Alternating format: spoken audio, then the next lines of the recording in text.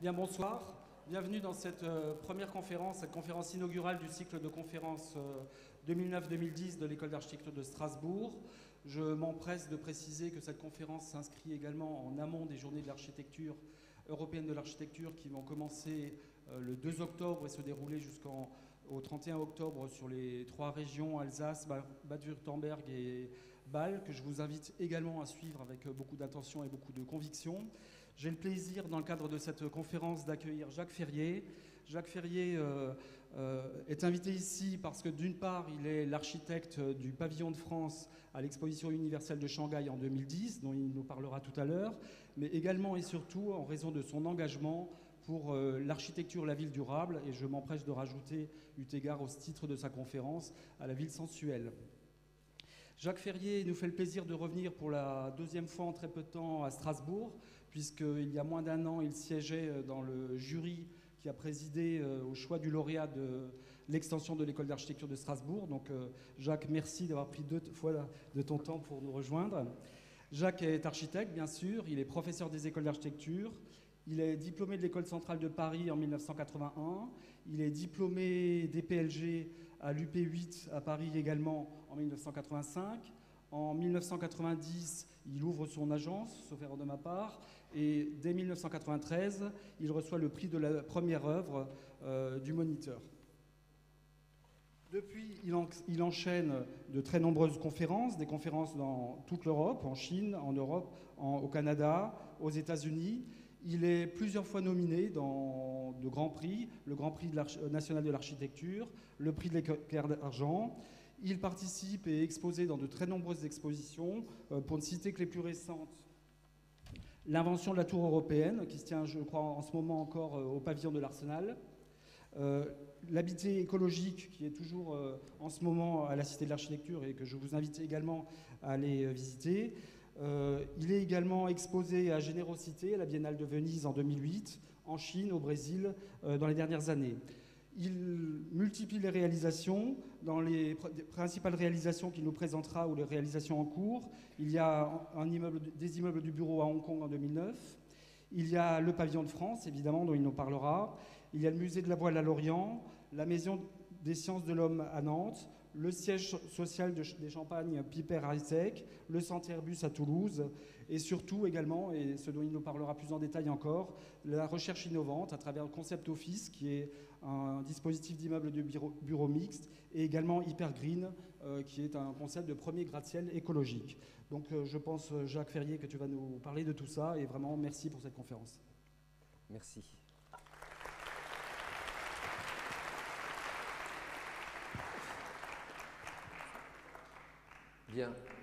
Merci Philippe. Bonsoir. Bonsoir à tous, bonsoir à tous. Je suis effectivement très, très heureux de revenir ici à Strasbourg et de pouvoir présenter devant vous un peu le travail de l'agence. Bien, donc effectivement, ce soir, cette présentation va être un peu placée sous la, euh, je dirais dans l'objectif, dans la lumière du projet le plus récent et qui m'occupe le plus en ce moment, qui est celui effectivement de Life, une meilleure ville, une meilleure vie. C'est-à-dire que les expositions universelles, vous le savez, enfin, vous, vous, imaginez, depuis 1851, ont toujours euh, exalté la technique pour la technique, le progrès pour le progrès, dans une sorte de vision comme ça euh, naïve de, de ce qu'était euh, la science et la technique ici, à l'aube du XXIe siècle, pour ce qui sera certainement la plus grande exposition universelle de tous les temps. vous vous souvenez des Jeux Olympiques à Pékin, ça va être la même, la même des mesures, mais enfin, les, autorités chinoises ont eu quand même cette, euh, cette intuition, à mon avis, vraiment très, très pertinente, de ne plus présenter cette idée de progrès pour le progrès, mais d'inscrire ce rapport entre technique et ville. Le XXe siècle ça a été un siècle urbain. Le, 20e, le 21e siècle, le siècle où nous sommes aujourd'hui, ça va être un siècle ultra, euh, ultra urbain. Et donc, il dit ultra urbain, dit une relation très forte entre l'univers où nous vivons et, la technique. il se trouve, il se trouve comme, de nombreux évidemment architectes, urbanistes, C'est en fait le thème depuis que j'ai créé l'agence, donc depuis presque bientôt 20 ans. Ça a toujours été mon centre d'intérêt, c'est-à-dire ces relations entre architecture, technique, société. Relations qui sont aussi vieilles que, que l'architecture elle-même. Et c'est un peu le, fil rouge, donc je ne vais pas montrer les premiers projets de l'agence, mais c'est vraiment le fil rouge qui a tendu tout ce travail et ce que je voudrais montrer aujourd'hui, puisque je m'adresse surtout, je vois qu'il y a beaucoup de, jeunes étudiants en architecture, c'est de montrer que ce projet de, pavillon, donc, dont nous avons la, charge et de l'architecture, mais aussi du contenu, n'est pas un projet comme ça à part, mais comme tout projet d'architecte, est en fait, s'inscrit euh, dans la continuité de tout un travail, de toute une démarche qui se construit projet après projet, réflexion après réflexion et échange aussi. Chaque fois qu'on présente son travail, c'est aussi une occasion de réfléchir. C'est pour ça qu'avant de vous montrer le pavillon, je vais vous montrer quelques projets qui illustrent donc cette, euh, cette vision. Alors tout de suite, je vous dis pourquoi ville sensuelle. Je vous ai parlé de cette relation entre architecture et technique. Le, premier livre, la première monographie sur le travail de l'agence s'appelait Stratégie du disponible. C'était euh, euh, une présentation de comment on pouvait recruter des technologies simples, des matériaux du catalogue pour faire une architecture d'auteur, et donc très intéressé de comment se fabriquaient les bâtiments.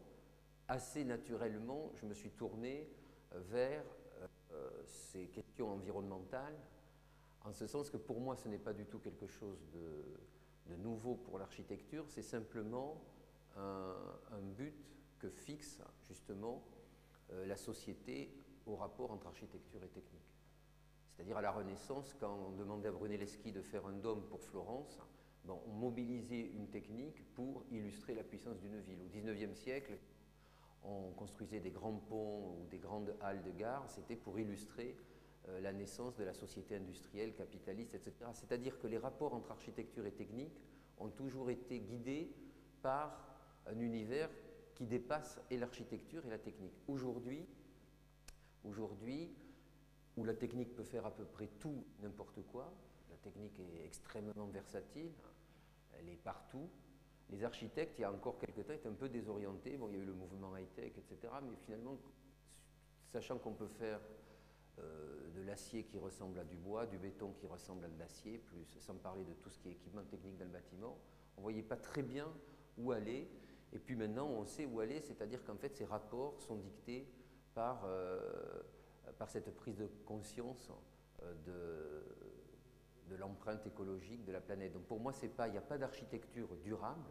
Je m'élève contre ça, parce que l'architecture durable, ce serait comme ça serait un peu de dire comme s'il y avait un sous-genre dans l'architecture. Vous voyez, c'est comme les bons auteurs de romans policiers. Simon n'aimait pas qu'on le case dans, euh, dans la, littérature euh, policière. C'est un auteur. Cette architecture, elle a toujours, à toutes les époques, répondu, en tout cas celle qui m'intéresse, n'est pas décorative, elle n'est pas uniquement faite pour entrer dans les musées ou dans les magazines d'architecture, justement, mais l'architecture qui m'intéresse, c'est celle qui répond justement aux attentes de la société. Aujourd'hui, ce sont celles-là.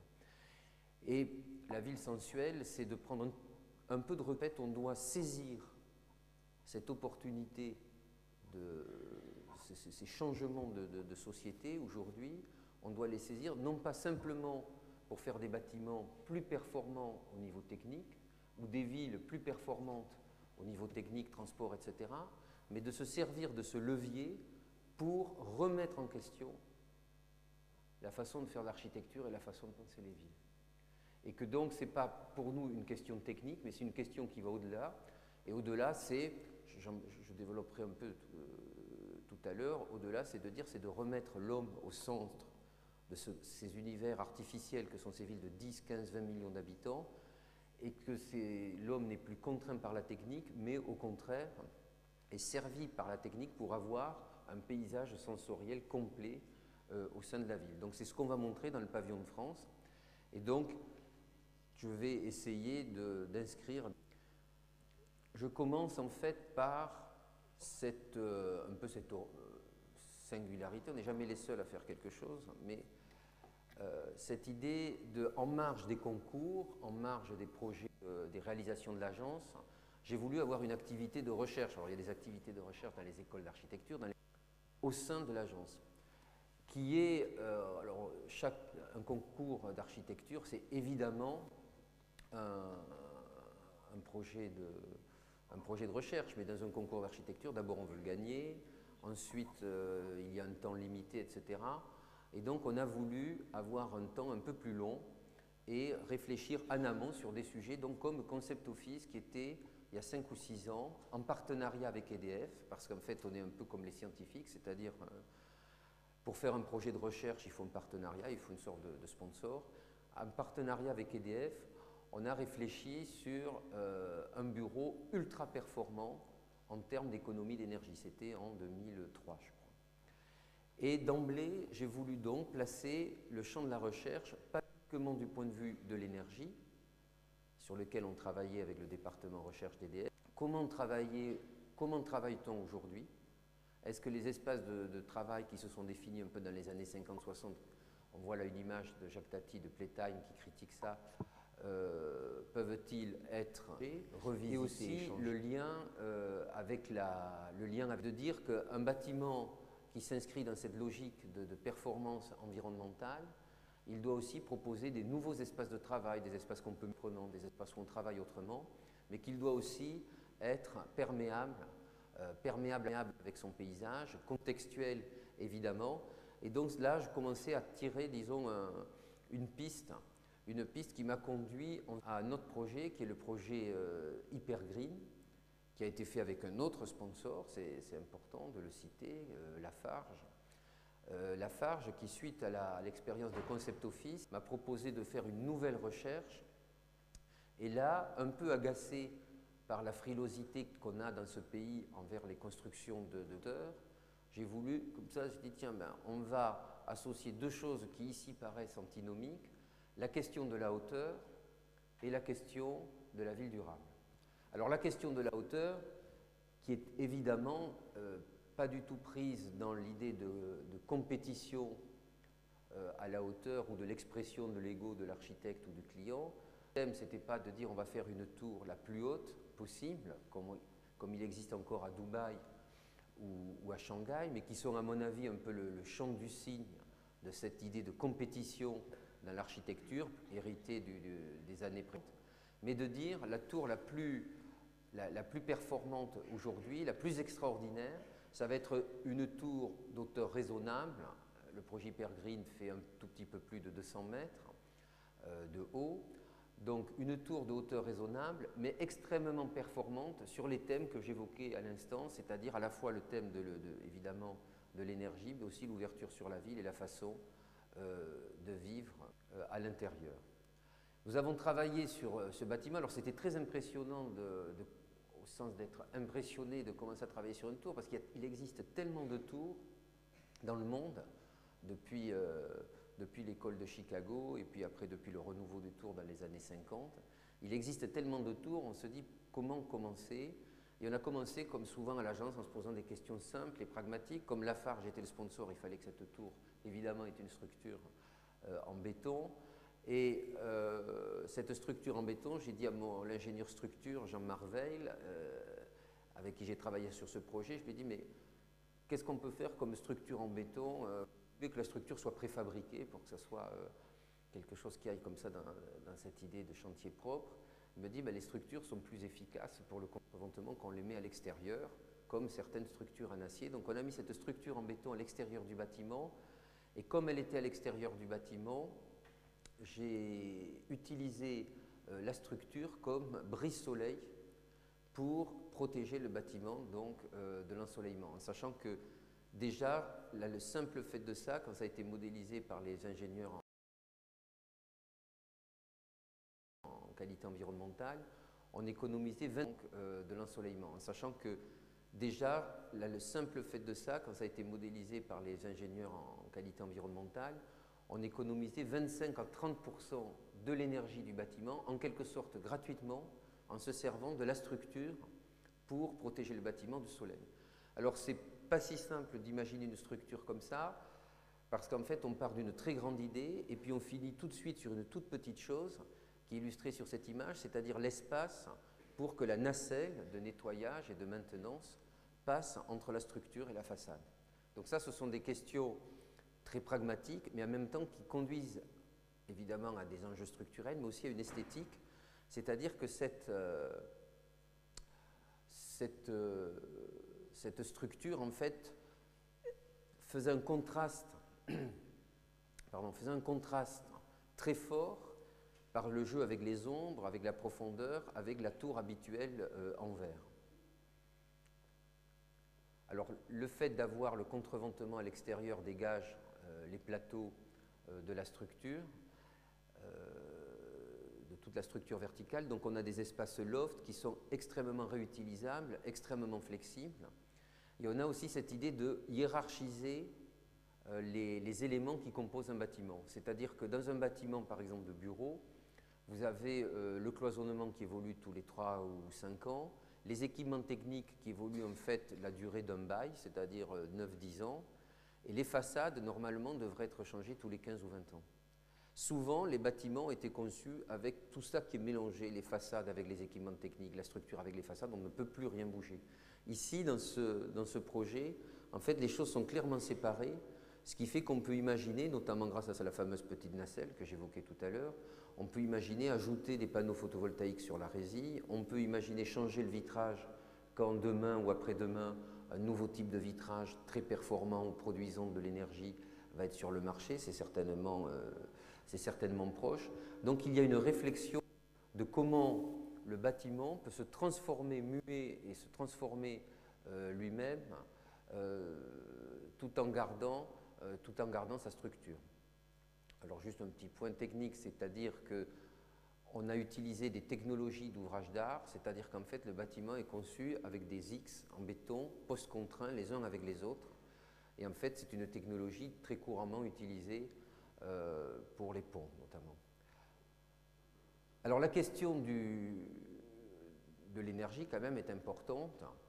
Elle est partie d'une constatation logique, c'est-à-dire que plus vous avez un grand bâtiment, plus en théorie vous avez de moyens pour mettre en œuvre des dispositifs techniques qui existent aujourd'hui, comme les pompes à chaleur, les puits canadiens, les éoliennes, les panneaux solaires, le, euh, chauffage, le refroidissement par les planchers, etc. C'est-à-dire qu'il n'y a pas de fatalité à ce qu'un grand bâtiment soit énergivore et euh, plus qu'un petit bâtiment. Et donc on a, euh, on a modélisé tout ça et on a mis en œuvre toute une série de dispositifs pour que cette tour, je cite un chiffre, bon, euh, c'est toujours bien à un moment donné d'avoir une référence, euh, soit à 50 kWh mètre carré an. Il faut savoir que, on le verra tout à l'heure dans un autre projet, les tours ordinaires sont à 400 kWh mètre carré an. Alors pourquoi, euh, pourquoi avoir travaillé sur, sur l'idée de grande hauteur? On a travaillé sur l'idée de grande hauteur parce qu'en fait c'est une bonne réponse urbaine dans le sens que, à certains endroits, c'est une bonne réponse pour lutter contre l'éparpillement de la ville et donc les transports. Euh, j'ai été le commissaire de l'exposition développement durable l'an dernier au pavillon de l'Arsenal et les, ingénieurs qu'on a invités à travailler sur cette expo ont montré qu'en fait, si vous avez un bâtiment qui est ultra performant euh, au niveau énergie, mais si vous y allez en voiture, si vous faites un trajet de 10 km pour y aller, le bilan est, plus, moins bon que si vous avez un bâtiment qui est une passoire, mais qui est connecté euh, par le métro. Pour connecter des bâtiments par le métro, il faut que la ville ait une relative densité. Donc on ne peut pas comme ça rejeter euh, le modèle de la densité amenée par, par les bâtiments de grande hauteur. On va voir un petit film, voilà si on peut voir le son. Merci. Et donc d'emblée, cette tour s'est située, vous voyez, dans une hauteur euh, de skyline euh, moyen.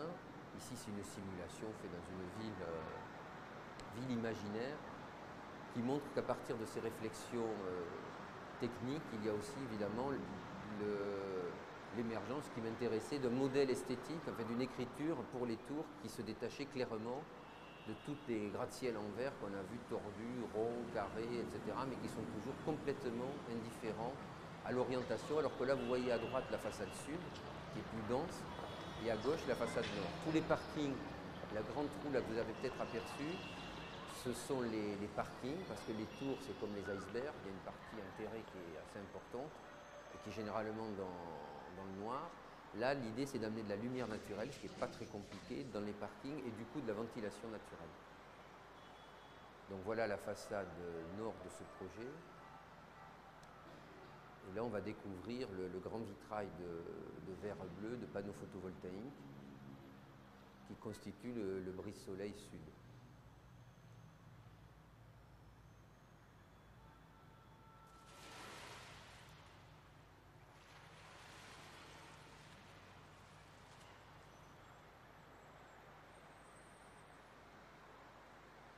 Vous allez voir, avec des éoliennes, les éoliennes qui produisent peu, hein, ça produit pour un bâtiment comme ça 4 à 5% de l'énergie.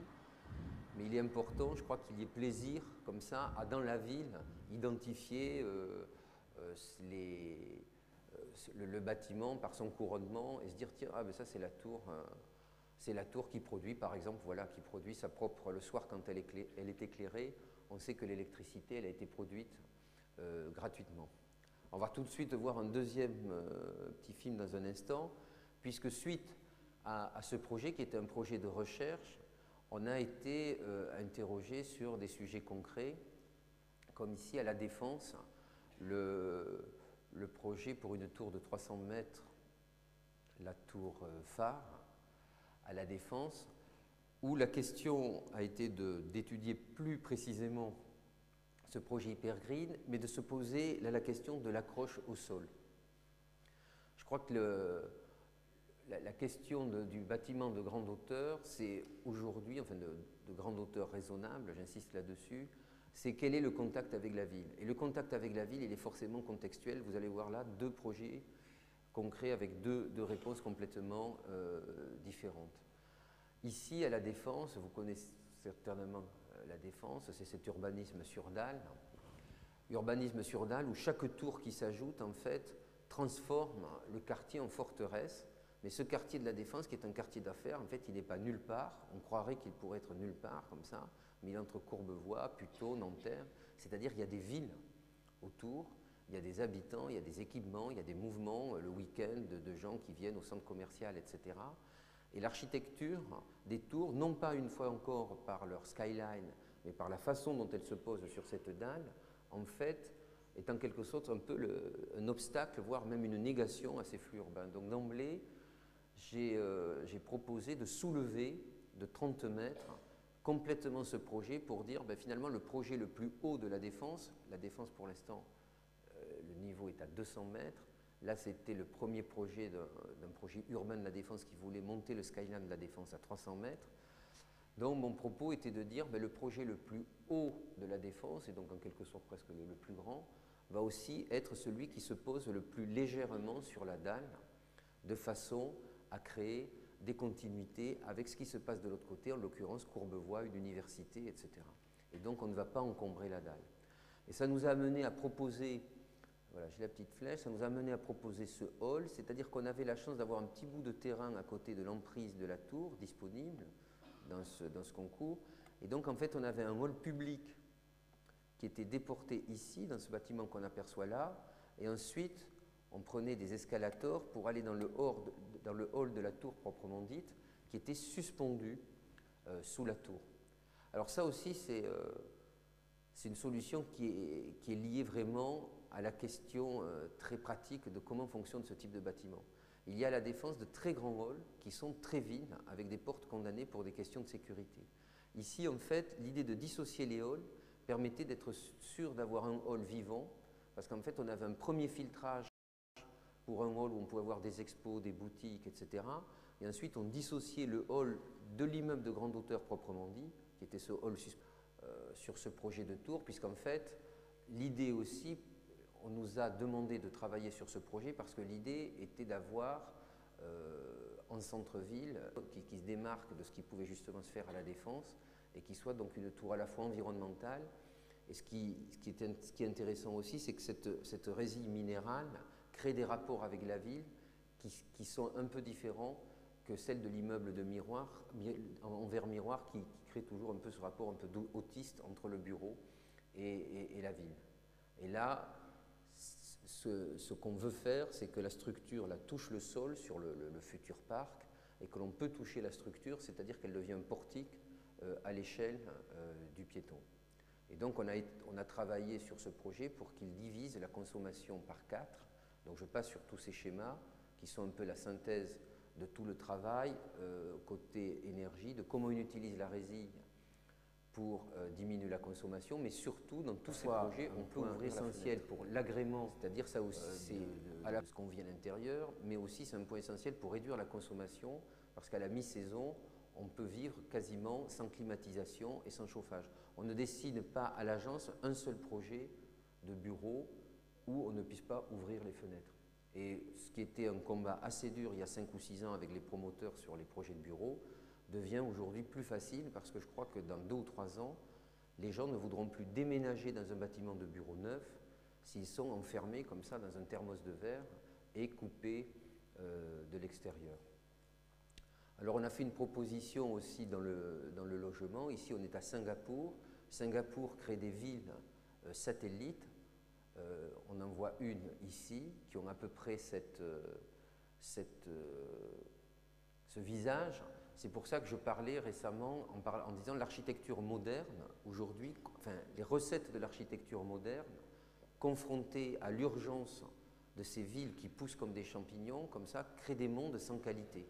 C'est-à-dire l'espace vert est là, on circule, mais on, en, ajoute, on en ajoute, on en ajoute, mais on crée des mondes voilà, euh, absolument euh, sans qualité. C'est-à-dire ça fonctionne, on a, euh, on a un abri.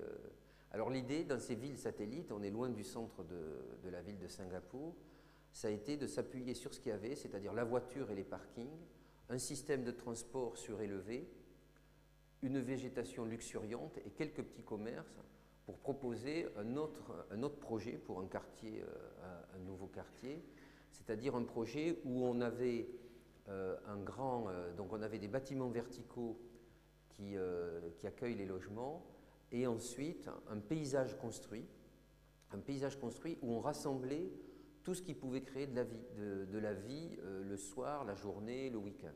C'est-à-dire c'est un grand jardin à la française qui rassemblait les parkings qui étaient en plein air dessous, qui rassemblait les petites boutiques, qui étaient à niveau avec le système de tramway surélevé, et où il y a les terrains de sport, les crèches, etc. Et donc c'est cette idée de dire qu'on peut faire un espace, voilà, on voit, le principe, enfin c'est un peu petit, avec toute la vie collective qui est mise en scène sur ce jardin, ce jardin qui unifie l'ensemble des, quartiers, et ensuite toujours ce dispositif constructif de dissociation entre euh, les jardins verticaux, les structures, et un travail sur la hauteur et l'orientation euh, des bâtiments pour qu'ils aient tous euh, une, vue, une vue dégagée. Et donc un dernier projet sur, euh, sur ce thème, c'est il y a deux ans, la ville de Paris a demandé à une douzaine d'agences de réfléchir sur le thème de la hauteur à Paris, ce qui est un thème à, Paris, comme je le disais, très, presque tabou, très, très compliqué. Et nous nous sommes, c'est pour ça que je montrais ce petit schéma, comme on était consulté par la ville de Paris, que c'était le long du périphérique, on avait l'impression qu'on était au bord de quelque chose. Et évidemment, je crois que l'avantage aussi de ces bâtiments, c'est le côté symbole, il ne faut pas le nier. Paris, c'est une ville qui est saturée de symboles, de monuments, etc. Ce qui m'intéresse, c'est d'utiliser aussi ces bâtiments en hauteur pour créer un peu les cartes postales de la périphérie qui n'a pas d'image. C'est-à-dire si vous habitez Bagnolet, Montreuil, euh, ici, etc., finalement, tout ça, c'est un grand territoire qui n'a pas d'image. Donc on peut aussi se servir d'assumer la fonction de repère, qui peut être euh, un repère joyeux, un repère intéressant, tel tour à des éoliennes, tel tour s'allume la nuit, etc., tel tour un restaurant qui tourne, pour donner une identité à tous, ces, à territoires.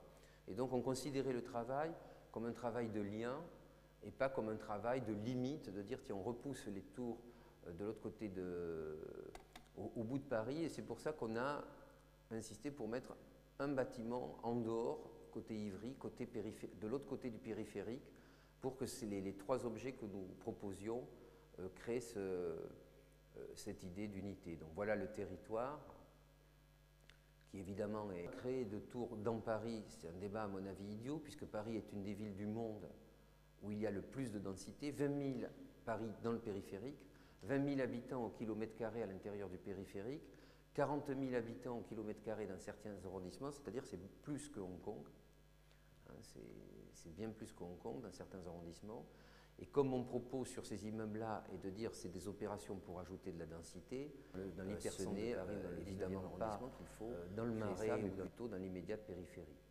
Donc là, voilà une simulation de ce périphérique, le grand paysage de la Seine, qui bien sûr peut encaisser des tours de 150 mètres de haut, et ce travail euh, toujours par rapport au sol, parce que quand, on discute avec les, habitants, quand on fait des réunions publiques avec les Parisiens, bah, généralement, on s'aperçoit que le rejet des, tours, il est lié au fait que euh, à Paris, mais c'est le cas à Bordeaux aussi avec le quartier Mériadec, les tours ont été toujours construites sur dalles et ont été donc en dehors euh, de l'espace public.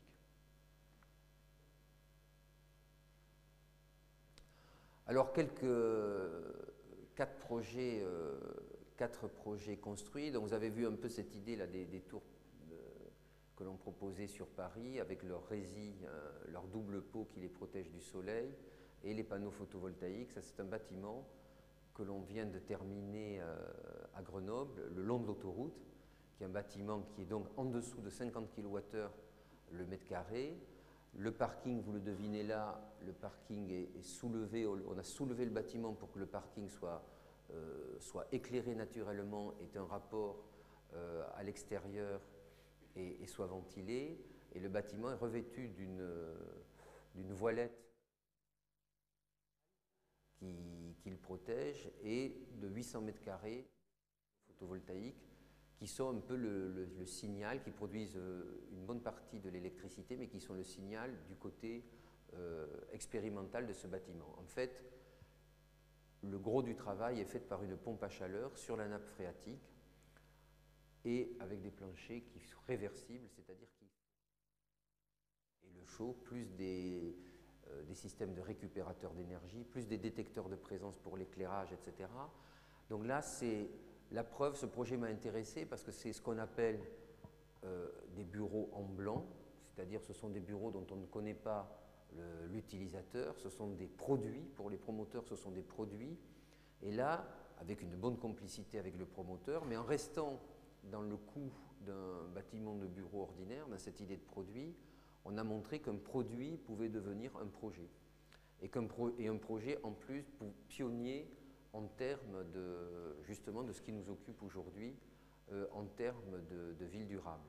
Alors je n'ai pas de photo de, je suis parti sans photo de l'intérieur, c'est un projet récent, mais cette double peau a une influence aussi sur la perception quand on est à l'intérieur des plateaux de bureau, parce qu'effectivement il y a un effet de voilette, de cadrage des vues, d'ombre, de lumière, et la perception de cette peau très lumineuse euh, qui s'éclaire de, la moindre lumière puisqu'elle est d'une couleur un peu hors pâle, une influence aussi sur, euh, sur les bureaux.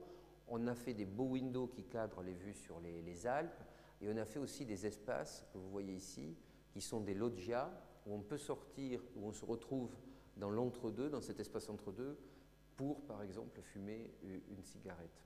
Et ça, c'est la façade nord qui, elle, n'est pas, n'est pas protégée parce qu'effectivement, il n'y a pas besoin et le promoteur a quand même bien veillé à ne pas. Euh, dépenser là où ce n'était pas nécessaire. Mais ça rentre dans cette idée d'immeuble orienté comme, euh, comme la tour.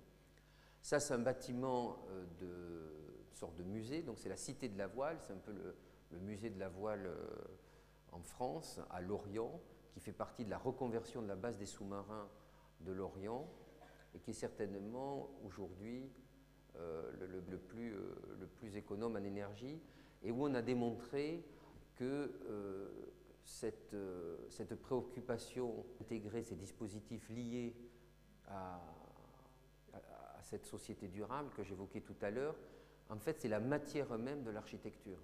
C'est-à-dire que vous voyez, on n'a pas collé des petits panneaux de toit euh, d'un bâtiment ordinaire. On a euh, profité de ces panneaux photovoltaïques pour faire un brise-soleil, éviter du coup d'avoir une boîte noire, parce qu'on protège, on protège la, salle d'exposition du soleil euh, et ça crée comme un vitrail qui crée une belle, euh, une belle lumière bleue. Mais là aussi, comme sur le, le Baffet, c'est une pompe à chaleur sur eau de mer qui, fait, qui produit la plus grande partie de l'énergie. Et on a installé sur la tour que vous avez aperçue deux petites éoliennes. Alors c'est très beau, ces panneaux photovoltaïques. Alors la, seule chose que l'on fait, c'est que l'on fait changer d'habitude, c'est des produits du catalogue, j'aime bien comme ça utiliser les choses en ready-made. Euh, ce qu'on change, c'est au lieu d'avoir un fond opaque, comme d'habitude sur les panneaux photovoltaïques, on met un fond transparent. On devine un peu sur la photo, et c'est ce qui fait donc on a une belle lumière bleutée, on a on a une sorte d'effet de, transparence à travers les, panneaux qui participe bien sûr de l'agrément et du plaisir euh, d'être dans ce bâtiment.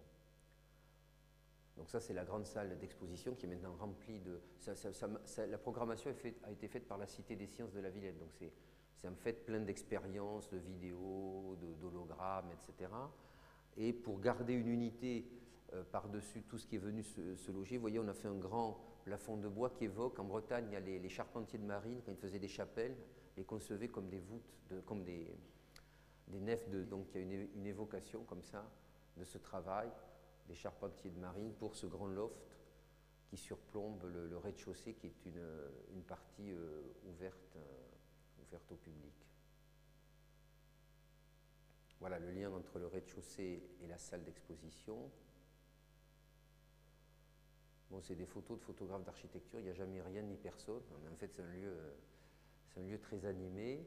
Ça c'est la salle d'expo temporaire où on peut entrer un Pinduic, un bateau, puisqu'en fait cette, cette, cité de la voile est placée sous le d'un navigateur qui s'appelait Eric Tabarly. Et ce qui m'intéresse aussi, c'est de comment un objet d'architecture euh, actuel peut s'insérer dans un contexte. Mais euh, dans quel sens? C'est-à-dire s'insérer dans un contexte sans le, rendre obsolète. C'est-à-dire il y a deux risques quand vous êtes dans un site aussi puissant qu'une base de, sous-marins comme celle, comme celle de l'Orient. Là, le bâtiment est au fond, vous voyez le bâtiment au fond. Il y a deux risques. Soit votre bâtiment disparaît parce qu'il est écrasé par ces masses de, béton, de bunkers, soit votre bâtiment, en quelque sorte, rend, euh, je dirais, euh, horrible euh, les bunkers, vous dites ah tiens mais ce bâtiment est tellement délicat, tellement beau, tellement subtil qu'il faudrait raser, euh, faudrait raser ces horribles bunkers. Et là vous voyez, j'ai pas du tout travaillé dans ce. Euh, je voulais que ce bâtiment nouveau renouvelle que l'on porte sur la base des sous-marins, mais établisse quand même un dialogue, une résonance avec ces, masses de béton. Donc ces masses de béton sont lourdes, on est léger, elles sont grise, terne, on est brillant, euh, on, est, coloré, mais néanmoins, néanmoins, on est sur place, il y a un dialogue qui se crée et qui fait que chacun sort renforcé, et les bunkers, qui sont maintenant reconvertis dans des sites d'activité liés à la, à la, course navale, et le, musée euh, lui-même. Et l'autre confrontation, c'est la confrontation des, bateaux. Euh, bon, là, on voit un peu loin, c'est un, Pinduic.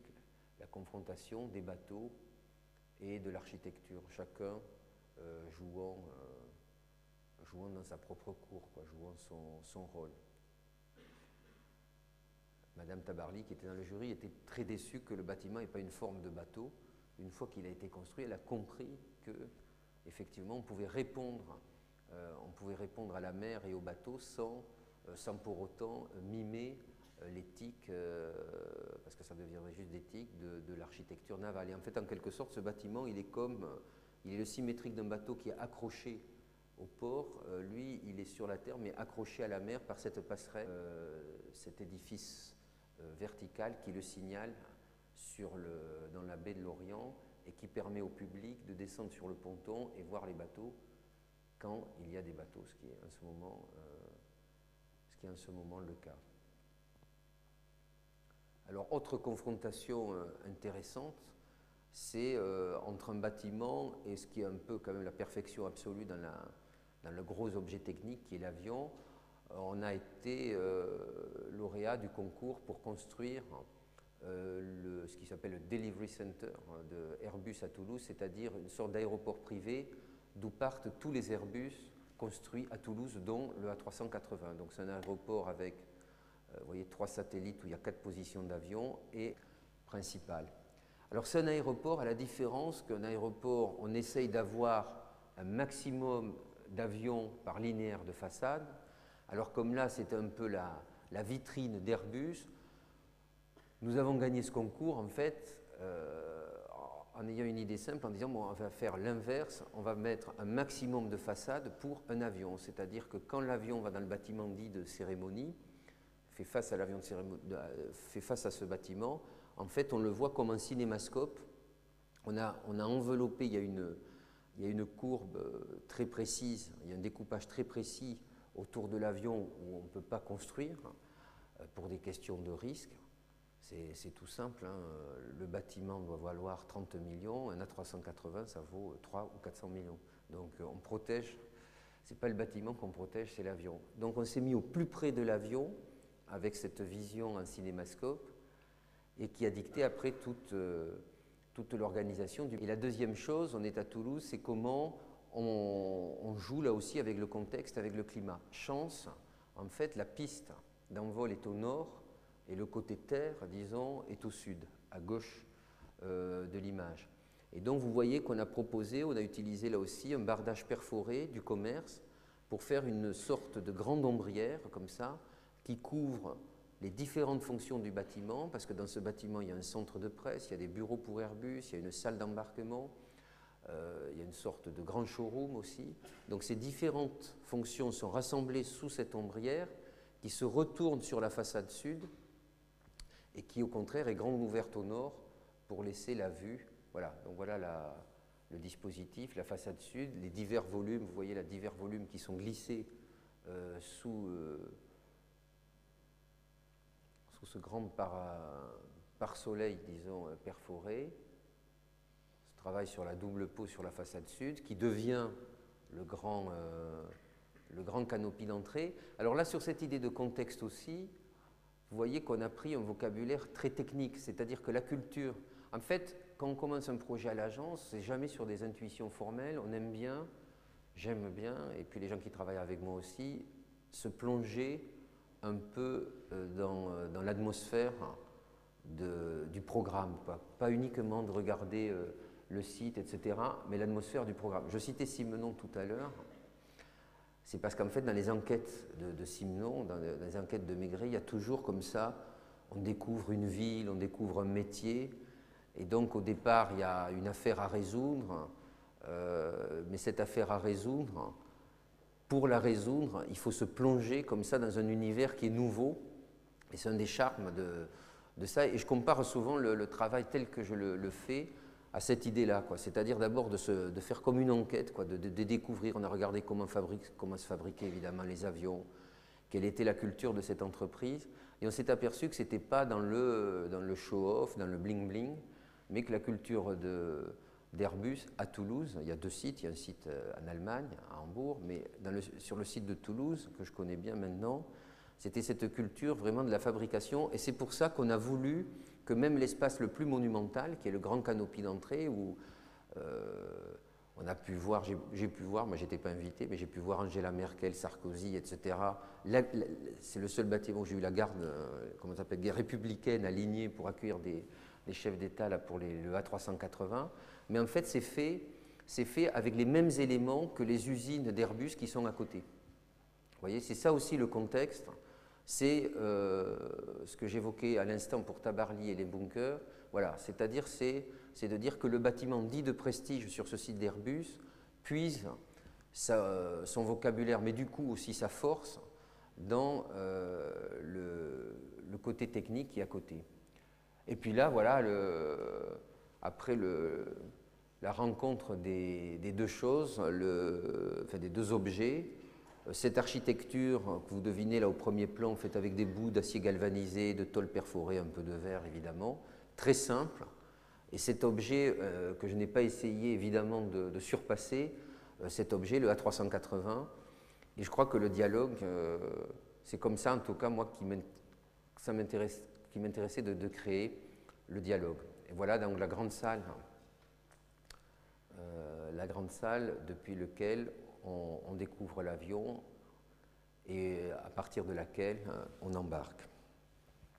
Alors un autre, euh, euh, dernier bâtiment récent, c'est un petit bâtiment qu'on a essayé de faire le plus grand possible. C'est le siège des Champagne Piper et Charles Heitzig à, Reims. C'est un, petit bâtiment, relativement petit bâtiment, c'est 2000 mètres carrés.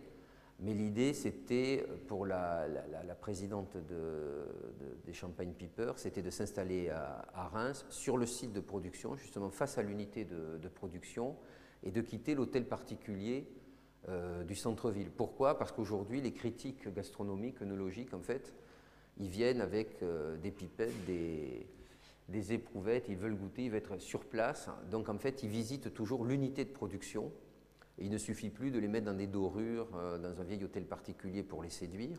Et donc la présidente de Piper a dit ben, on va déplacer le siège social sur le site.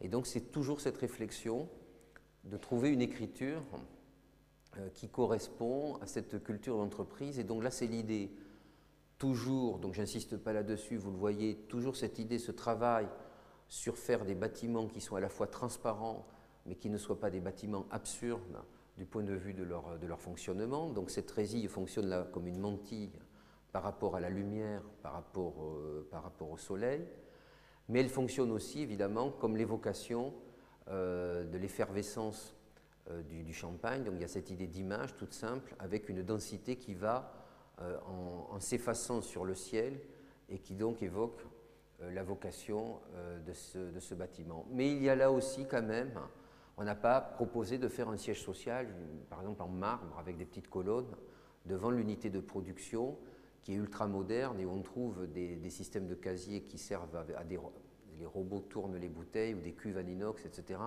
Donc on a voulu que le, que le bâtiment, là aussi encore, ait une correspondance. Et c'est en partant de ces casiers qu'on a imaginé euh, ce, revêtement de euh, cet écran de façade après, ce qui nous intéresse, c'est tout le travail avec les fabricants, c'est-à-dire qu'on là aussi je parle surtout aux étudiants, hein, c'est faut aller voir, c'est-à-dire on fait un métier, on a la chance de faire un métier où on dessine, où on manipule des idées, etc. Mais on a le chantier, on a la fabrication. Il faut toujours, euh, il faut toujours se déplacer, rencontrer les gens, rencontrer les compagnons qui, qui, fabriquent les choses, les rassurer en disant ce que j'ai dessiné n'est pas si, compliqué, mais les écouter aussi parce que souvent ils vous donnent des possibilités auxquelles vous n'aviez pas songé. Donc là, la mise au point du panneau, c'est une longue histoire, je ne vais pas la, raconter là, dans les pourcentages de vide, tout ça, les épaisseurs, mais c'était une des, aventures et des expériences euh, de ce projet. Des choses très simples, toujours des structures en acier galvanisé, extrêmement simples, mais qui se démultiplie dans les reflets du verre et qui crée des, espaces qui jouent vraiment avec les ombres. La, même enveloppe devient à un moment donné le portique d'entrée. Ça, c'est le, le, d'accueil dont la décoration a été faite par un designer italien, euh, Laviani. Et cet effet de, superposition que vous devinez là entre l'ossature principale du bâtiment, le vitrage, l'ossature secondaire de, la résille et ensuite un arbre. Et en fait, c'est un travail comme ça qui est, très simple en plan. Les, nos, plans sont toujours très simples, mais par effet de, strates et de superposition, crée des effets euh, cinétiques comme les patios. Euh, c'est pour ça aussi que ce bâtiment, il, a l'air plus, plus grand que ce qu'il est, parce que toujours dans nos bâtiments, et on va le voir en conclusion avec le pavillon, de, le pavillon France, c'est devenu le thème même du bâtiment, mais depuis toujours, j'ai toujours voulu créer des fragments de paysage, si possible, à l'intérieur euh, des bâtiments. Donc on a beaucoup de, projets où on fait entrer comme ça des, petits bouts de jardin euh, à l'intérieur des bâtiments, ce qui démultiplie surtout pour les bâtiments de bureaux,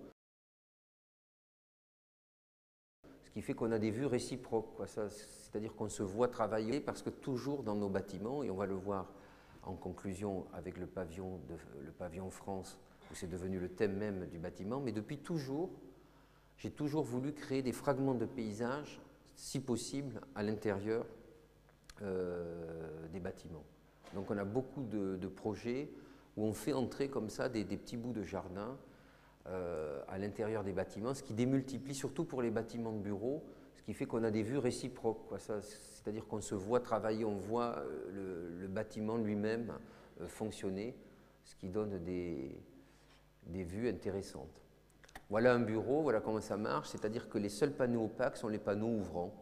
Alors pourquoi? Ça aussi c'est un dispositif qu'on n'a pas inventé mais que j'aime bien, c'est-à-dire que le panneau ouvrant, ça veut dire que tout ce qui est menuiserie, ben, comme c'est un panneau opaque, ça ne pose pas trop de problèmes, alors que si vous voulez faire une belle menuiserie sur un panneau vitré, c'est très compliqué, c'est très cher. Et, euh, quand vous ouvrez le panneau opaque, ça, fait de la, transparence en plus, donc l'air rentre, mais aussi la vue.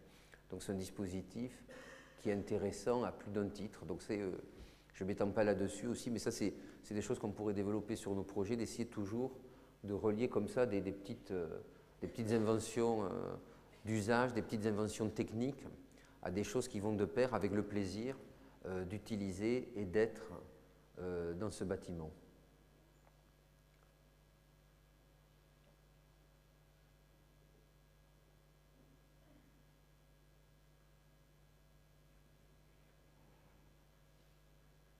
Voilà, et donc on arrive donc à cette, euh, à cette aventure qui est celle de, de l'exposition euh, universelle de, Shanghai,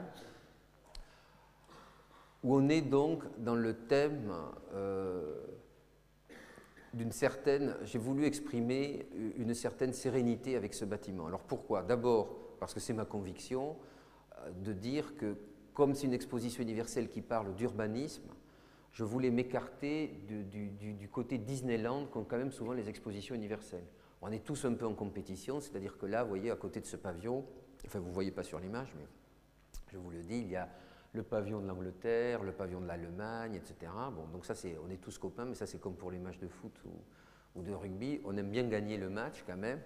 Et donc, il y a un effet de compétition qui, conduit souvent dans les expositions universelles à outrer un peu le geste et à faire des bâtiments qui sont un peu euh, la caricature euh, des modes euh, des tendances architecturales.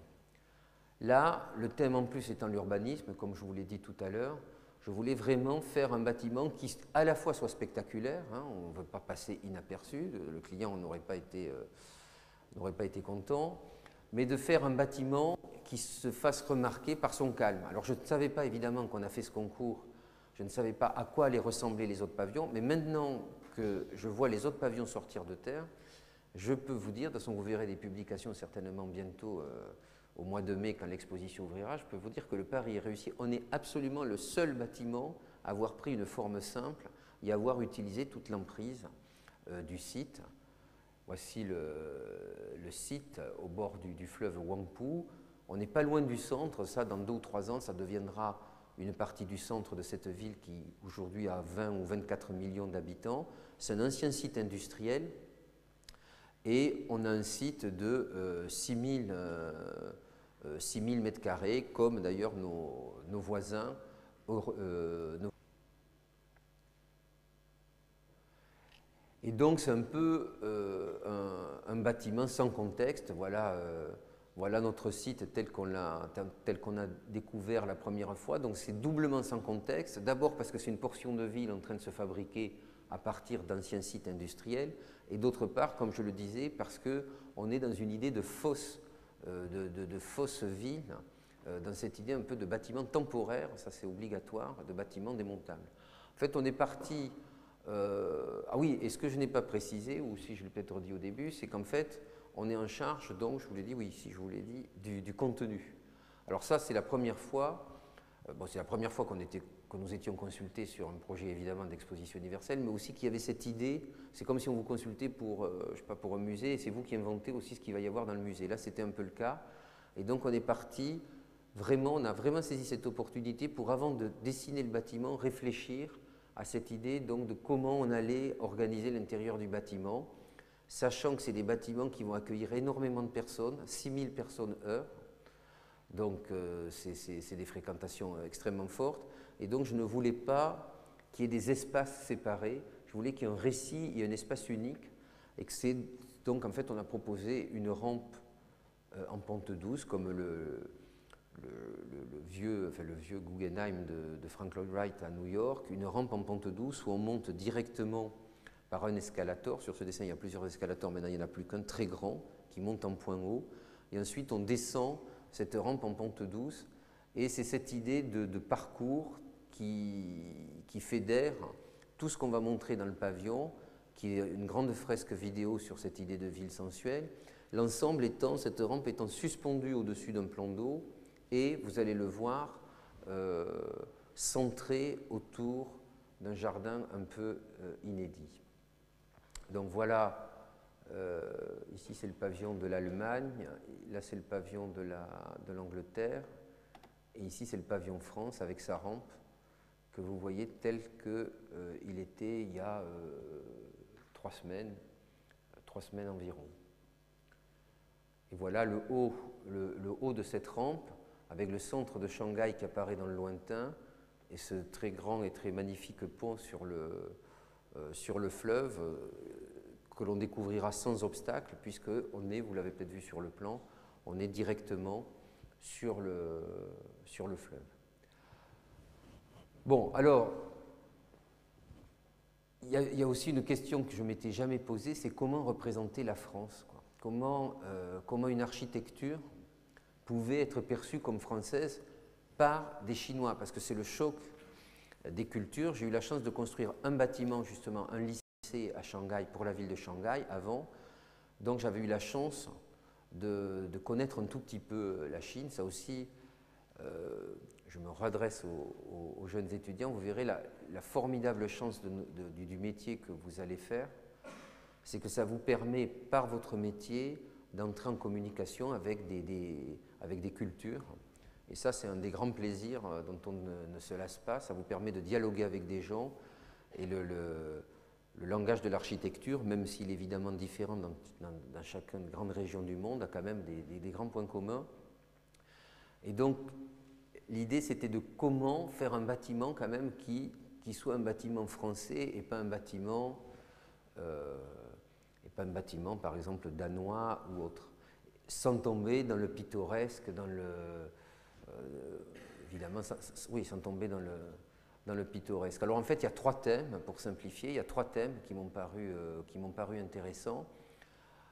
D'abord, c'est l'idée de l'innovation, enfin d'abord dans le désordre en fait, mais c'est l'idée de l'innovation structurelle, de dire là, bon, cocorico, quoi, le génie français de la construction, la tour Eiffel, euh, euh, bon, et, des milliers d'autres bâtiments. Et donc il est illustré par cette résille, qui est évidemment sur le même principe vous avez vu de ces grands projets de la famille d'Hypergreen, conçu par le même ingénieur, Jean-Marc Veil, cette résille qui donc prend toute la stabilité horizontale du bâtiment. Et je n'ai pas voulu qu'elle soit en métal, elle est effectivement recouverte euh, minérale parce que l'image, si vous interrogez un, le grand public chinois, parce que le public d'une expo, c'est le grand public, le grand public chinois ou japonais d'ailleurs, ou de Singapour, tous ces gens qui viendront dans cette expo. Si vous parlez de la France, c'est Paris, c'est les châteaux de la Loire, c'est-à-dire c'est plutôt une image minérale, blanche, c'est pas la brique, ça, serait peut-être plutôt l'Angleterre, c'est pas le bois, ça serait plutôt les pays scandinaves. Et donc on assume cette idée de revisiter avec cette dentelle, ce qui va paraître d'être une dentelle minérale, mais extrêmement légère, parce qu'en fait, c'est une structure hybride. Je crois beaucoup dans l'architecture à venir, dans le rôle de ces structures hybrides qui, mélangent plusieurs matériaux et qui semblent suspendre comme ça le pavillon au-dessus d'un plan d'eau. Et donc le plan d'eau, comme le jardin, qui sont les deux autres thèmes, c'est un peu un hommage à l'architecture classique française, euh, Versailles, euh, etc. Euh, parce que je pense que le message est toujours actuel. C'est-à-dire que l'idée, c'est de dire que dans ces grandes villes, ce qu'on appelle donc notre projet de ville sensuelle, c'est de dire que le, on doit trouver le paysage, non pas uniquement comme vous le voyez sur ces photos de Singapour que je montrais tout à l'heure, comme des grands parcs et les bâtiments à côté, mais qu'on doit trouver la nature au sein même des bâtiments. Et que chaque bâtiment doit offrir des fragments de nature à la ville, mais doit offrir aussi à ses occupants ce contact avec les odeurs, avec les saisons, et donc, je crois que là, le Versailles, avec sa géométrie, etc., est une sorte de préfiguration de ce que pourrait être aussi une nature comme ça dans des villes de 10, une fois de plus, 15, 20 millions d'habitants. Et donc, avec l'agence de paysagistes Terre, nous avons imaginé que le cœur du bâtiment soit un jardin à la verticale, non pas comme les jardins que vous avez pu voir de Patrick Blanc, qui sont ces jardins un peu tropicaux, euh, qui sont sur des feutres textiles, mais un vrai jardin avec de la vraie terre arrosée par de la vraie eau, pas dopée euh, avec des produits, des substances un peu chimiques, comme ça, un vrai jardin, en fait des buis comme à Versailles. Le buis existe en Chine. J'ai appris à cette occasion que les plantes avaient voyagé toujours d'un continent à l'autre. Donc on retrouve les mêmes plantes, donc ce sont des buis chinois qui font que le cœur du bâtiment, c'est ce, jardin. Donc l'eau, la nature et euh, l'innovation de la structure. Et en fait, la file d'attente va se faire au niveau du bassin, entouré par le jardin. Et là aussi, on est le seul pavillon à avoir fait ça, pour tout vous dire, c'est-à-dire que d'habitude, les files d'attente des autres pavillons sont à l'extérieur. Et ici, avec cette grande forme très simple, on a, disons, on s'est approprié un vide au centre du bâtiment euh, et, ce, vide est en fait là, où les gens vont passer le plus de temps parce que vous passez environ une heure de queue. Ça, c'est l'expérience que, nous donnent les gens qui ont travaillé sur les expositions universelles précédentes. Vous passez une heure de queue pour euh, 10 minutes en moyenne dans un pavillon puisque vous voulez en faire euh, un maximum. Voilà la fabrication du bassin. Donc on monte l'escalator, on se retrouve en haut, avec un jardin en terrasse, un restaurant qu'on aperçoit au fond, protégé par une ombrelle de panneaux photovoltaïques. Et là, c'est le prototype. Là, j'ai voulu vous montrer un peu la fabrication de tout ça. On ne se lance pas là-dessus à l'aveuglette. Dès le mois de janvier, euh, donc un an et demi avant la livraison du bâtiment, on a, avec nos paysagistes, à une heure de travail, testé euh, en prototype, et c'est toujours en cours, parce que c'est presque le plus difficile, ce jardin vertical, parce que c'est du, vivant, et inventer comment faire ce jardin, puisqu'on voulait absolument qu'il soit terre. Et donc, vous voyez, c'est des, petites cagettes comme ça en métal, terre, le buis et d'autres plantes, c'est un tout petit peu plus compliqué, il n'y aura pas que buis. Mais la capacité aussi, s'il y a un problème, à un moment donné, de sortir le mécano et de le, et de le remplacer. Ce qui fait qu'il a été mis en culture deux fois exactement la quantité de plantes dont nous avons besoin. Donc, comme c'est une première à ce type de, jardin, on pourra renouveler, les plantes euh, euh, s'il y, avait un souci d'arrosage ou autre. Alors une fois qu'on a fait la file d'attente, on monte par un grand escalator, et là, euh, l'image, en, en, beaucoup plus petit évidemment, c'est un petit hommage à la tour Eiffel, parce qu'en fait, c'est là où on se rend compte que cette structure qu'on avait vue minérale, on passe dans l'entre-deux, et un peu comme quand on monte les escaliers ou les ascenseurs de la Tour Eiffel, on, se retrouve pris dans la structure, la structure à gauche euh, extérieure et celle du bâtiment à droite, et c'est l'accès au, point haut du, au point haut du bâtiment. Voilà le modèle de structure de, de Jean-Marc Veil, et vous voyez en rouge les parties qui sont sollicitées en cas de séisme, notamment, puisque l'an dernier, il y a eu un très grand séisme en Chine, vous le savez, qui a considérablement durci la, réglementation pour les séismes. Et à nouveau, comme vous l'avez vu par exemple sur le bâtiment de Piper ou sur le projet Pergrid, cette idée de l'entre-deux, dédoublée ici par l'eau qui sera en bas et les reflets euh, en miroir euh, de cet entre-deux structurel. Alors ça, c'est une phase que, j'aime beaucoup, vous l'avez deviné, c'est comment on fabrique les choses. Donc là, j'y vais moi-même, j'adore hein, voir. Euh, donc on a fait dans un hangar un test de comment on pouvait euh, tester euh, ce, ce, bardage en béton. Une petite photo de groupe hein, pour vous dire qu'on fait un métier de groupe, même s'il n'y en a qu'un qui parle à un moment donné et qui présente euh, le projet. Il y a là l'entrepreneur chinois, le client, s'il n'y a pas de client, il n'y a pas de projet, les gens qui travaillent avec moi, les paysagistes, les ingénieurs, les interprètes, etc. il est clair que si on voulait mettre ce n'est pas un très grand projet, hein, mais si on voulait, comme sur tous les projets d'architecture, si on voulait mettre sur la photo tous les gens qui vraiment travaillent sur le projet, il y aurait beaucoup plus de monde que ça. Mais ça aussi, c'est, je trouve, un des grands, euh, des grands plaisirs de ce métier, c'est les rencontres humaines au travers, euh, au travers d'un projet. Et là, vous voyez, c'était il y a un mois aussi. Tous les éléments sont faits en béton de, de fibres, armés de fibres de verre. Ils sont extrêmement bien faits, c'est-à-dire d'abord, il y a des menuisiers qui font les moules, on a euh, il y a 1400 pièces, 300 moules différents. Là, c'est bien que ça se passe en Chine, où il y a encore ce, euh, savoir-faire hein, qui nous permet de réaliser ça. Ça serait extrêmement difficile d'imaginer de réaliser autant de pièces de menuiserie en, France. Et ensuite, c'est comme pour les coques d'un bateau, on projette ce ciment armé de, fibres de verre dans ces moules et ils seront ensuite, ils seront ensuite fixés sur la structure acier euh, qui est en train d'être montée et que vous voyez ici. Voilà les proportions euh, du patio, les proportions de l'espace intérieur. Et ce qui nous intéressait, puisqu'on est dans le thème de la ville sensuelle, c'est toujours d'éviter, euh, bon, parce que ce qui sera montré, c'est beaucoup de projections, etc. Et souvent, la scénographie, ce sont des, euh, conduisent à être dans des espaces obscurs. Donc là, il y a un très gros travail pour avoir une très bonne qualité d'image. Vous voyez ici, on est dans un espace noir. Donc d'avoir une aussi bonne qualité d'image qu'ici, sur des, images qui vont être projetées sur 4 mètres de haut. Mais néanmoins, quand on va descendre la pente, on aura toujours la vue du jardin. Et le revers du jardin est planté avec des plantes différentes selon les orientations. Et donc il y aura cette découverte du jardin vertical qui accompagne aussi le visiteur euh, le long du parcours. la partie finale, le clou du spectacle, devrait être les cinq ou six chefs-d'œuvre impressionnistes du, musée, euh, musée d'Orsay, qui préfigurent euh, éventuellement la, deuxième vie du bâtiment, puisqu'en fait, on souhaite, toujours dans cette idée durable, on dit c'est un peu idiot, c'est un peu idiot dans une exposition universelle de tout casser à la fin.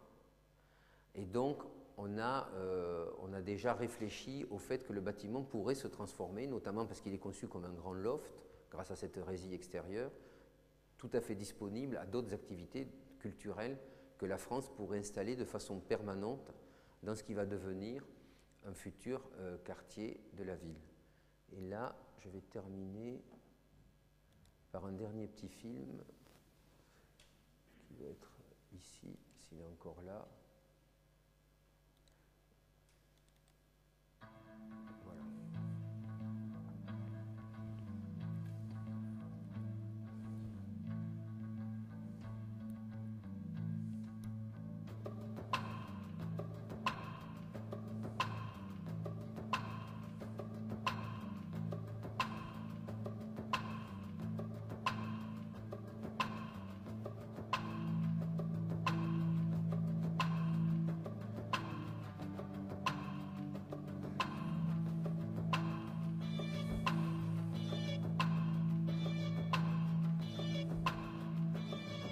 Regarde par ici parce que je vois l'image.